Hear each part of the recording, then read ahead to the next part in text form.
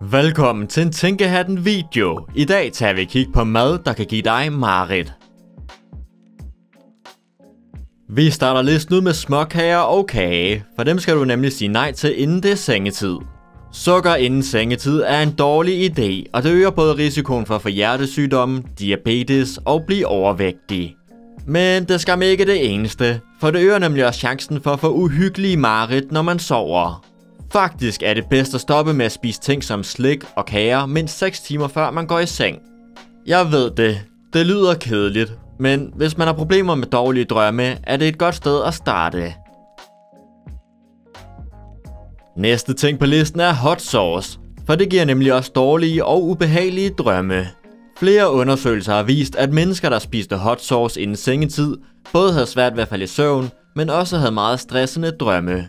En anden undersøgelse fra Australien viste, at den stærke mad forstyrrede søvnmønstret hos testpersonerne, og dermed gav dem mareridt.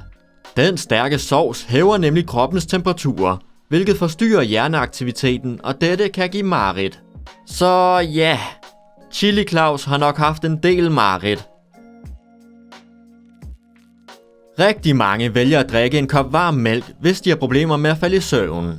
Når vi skal sove, falder vores kropstemperatur nemlig, og det samme sker, når vi drikker noget varmt, såsom varm mælk.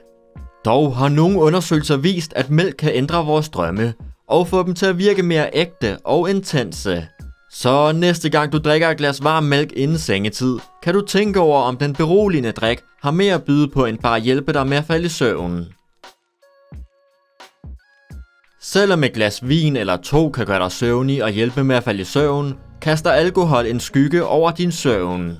Det gør nemlig, at man tilbringer mindre tid i den vigtige REM-søvnfase, og det er på ingen måde godt. Dette kan nemlig helt forhindre vores drømmeverden i at folde sig ud, eller gøre den mere mærkelig. Der er stadig debat om præcis, hvordan alkohol påvirker vores søvn, og alkoholens forhold til drømme er et fascinerende og ikke helt afklaret mysterium. Det næste på listen er pasta, for en nylig undersøgelse peger på, at testpersoner fik forstyrrende drømme, når de gik i seng efter at spise pasta eller brød. En lille gruppe af testpersonerne gik endda så langt som at beskrive deres drømme som utroligt bizarre. Resultaterne af undersøgelsen viste, at pasta havde en tendens til at give testpersonerne mere forstyrrende og forfærdelige drømme. Pasta blev kun overgået af mejeriprodukter og stærk mad. Er du en kat eller en hat, Uanset hvad, så husk at tjekke Tænkehatten butikken ud. Den er fyldt med seje trøjer, musemotter, klistermærker og andet sjovt.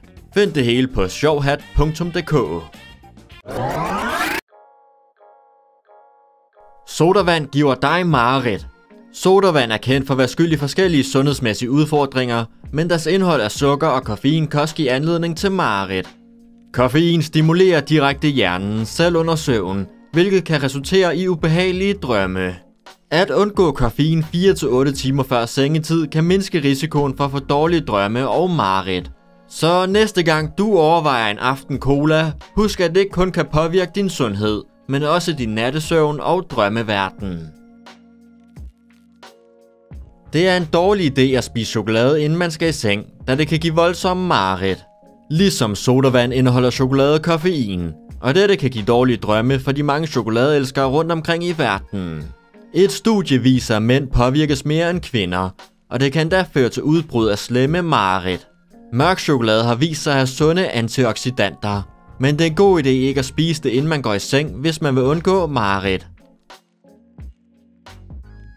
Det næste på listen er chips, for de sprøde og salte fristelser kan være en lækker snack, men ifølge forskning kan de påvirke dine drømme.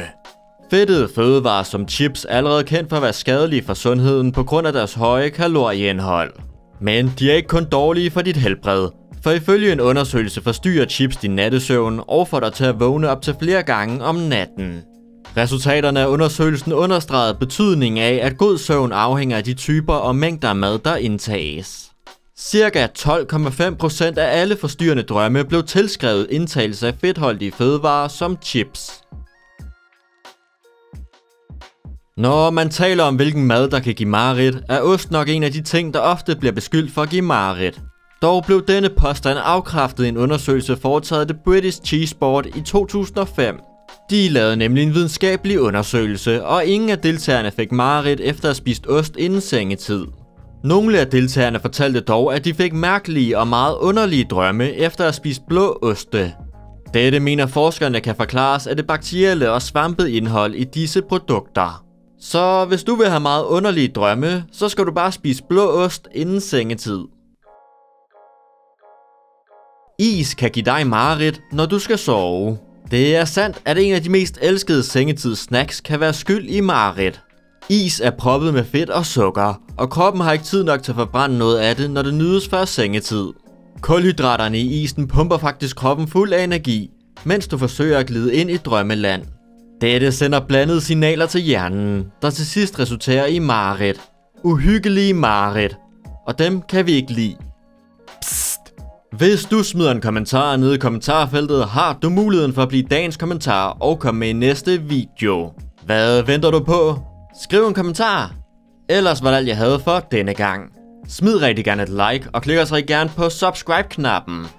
Tak fordi du så med, og pas godt på dig selv.